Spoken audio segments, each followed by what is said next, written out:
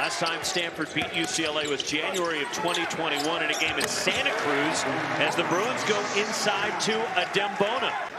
Is stop avoiding contact. Go, go towards the basket. Don't fade away. Be assertive.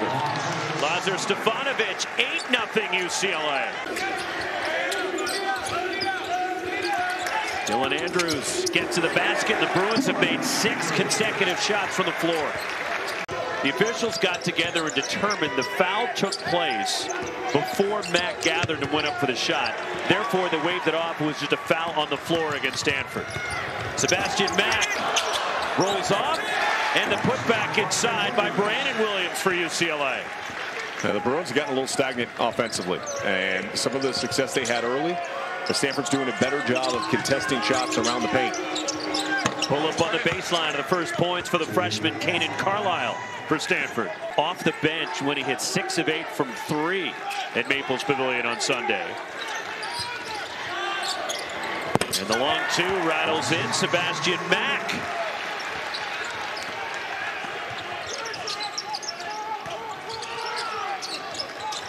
Here's Carlyle launching a three. And he's starting to get it going now. That's two straight shots for Carlyle as he went all the way up the ladder that time.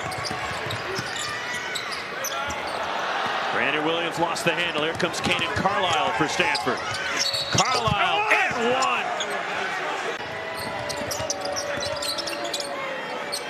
Kanaan Carlyle from deep. And a three, and we're tied. He's a special player that's overcome a lot over the course of his career, and boy, as he showed out. And speaking of showing out, so is that young man. Second consecutive game. He's up to 15 points right now. That was a game against Oregon that they felt they should have won that contest. And Stanford was in complete control against ASU. And their entire coaching staff says, hey, we should have won that one as well. What a finish. Maxime Raynaud with the left hand. And that was great execution. And he baseball passes it ahead for Maxime Raynaud, who goes in, missed the layup, and it's run down by Kanaan Carlyle, who just back it away and run out the clock. And that gets us to Nicole and Max.